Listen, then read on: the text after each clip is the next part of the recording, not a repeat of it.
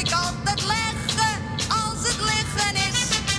Is het van mijn eigen of is het nou van mij? Zou dat nou wel kennen of moet